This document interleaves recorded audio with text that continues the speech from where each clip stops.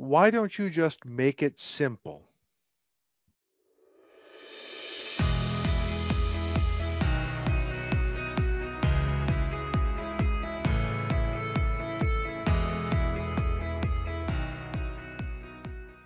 Greetings and welcome to the Contracting Guy. I am the Contracting Guy, and today I want to talk about this idea of make it simple.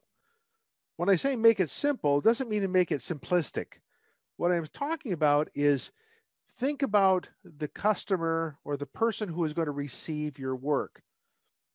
For instance, you're going to make a proposal in color now, the person who's going to receive that proposal is not going to be going, Whoa, this is pretty stinking cool. It's in color. What they're going to most likely say is that, Great. Now, what do I have to do with it? I've got to render this thing that looks nice into black and white, degrading the quality of the message that you want to send. Same thing if you send them something uh, spiral bound well, keep in mind that if it's spiral bound, they have to take it apart so that it can be run through a copier.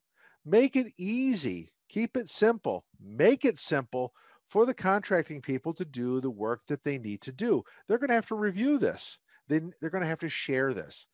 Uh, uh, a friend of mine, um, uh, Eric Coffie, had uh, done a podcast recently and was talking about someone doing a capability statement in black and white. Well, think about that. Doing it in black and white. I said, well, that's not bad.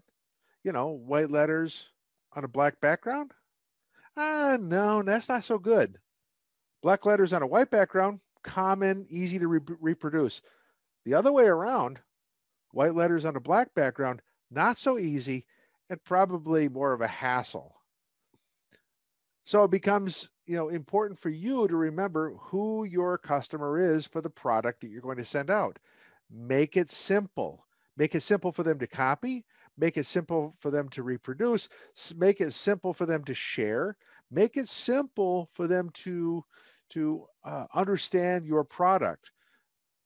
So ways to make it un, you know make it simple is don't bind it. Don't put it in a binding or a spiral bound. Something they have to take apart to make work. Don't put it in color two simple ones. Don't make it overly complex. Very, uh, very simple ways of being able to appeal to your customer. So those are the takeaways. I want you to walk away with. Make it. Think about who's going to get your work and how to weave that into something they're going to use. The better you make it for them, the more likelihood they're going to look at your work more favorably. And ultimately, that's what you want. You want them to look at your work favorably and then proceed accordingly, hopefully, with a selection of you. Now, here's what I want you to do also is that if you like this uh, this podcast, please hit like, hit subscribe, and share it with others so that we can get the good news about doing business with the government out to everyone. This is the contracting guy. I'm out. Thank you for watching The Contracting Guy. Please like, subscribe, and share the video. We'd appreciate that. This is The Contracting Guy. I'm out.